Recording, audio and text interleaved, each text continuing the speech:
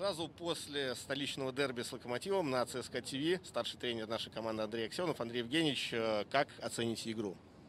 Ну, я считаю, что игра достаточно получилась зрелищной, потому что две команды играли в обоюдоострый футбол и были ориентированы на атаку. Но хочу отметить нашу команду, то, что мы сегодня достаточно неплохо сыграли в обороне. Ну, к сожалению, допустили ту единственную ошибку, да, простейший эпизод, с которого нам забили гол.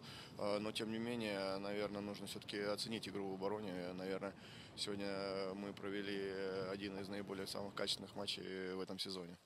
Плюс еще показали характер, потому что в таком дерби отыгрываться с 0-1 всегда непросто. Локомотив встал в оборону, за счет чего удалось ее взломать. Ну, изначально было так, что я и в перерыве ребятам сказал, что мы играем неплохо, мы играем хорошо, да, нужно устранить эти вот мелкие ошибки при игре в обороне, но тем не менее нам нужно самим, мы, мы видно было, мы соперника посадили на их э, половину поля, и они уже играли явно вторым номером, нам нужно свои моменты было искать, э, вскрывать эти насыщенные зоны. Э, я считаю, что нам удалась фланговая передача, и мы нашли свой момент в атаке, и еще ряд моментов после забитого гола мы не использовали.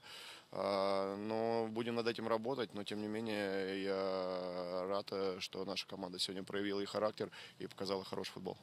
Большое спасибо. Это было экспресс-интервью со старшим тренером молодежки Андреем Аксеновым.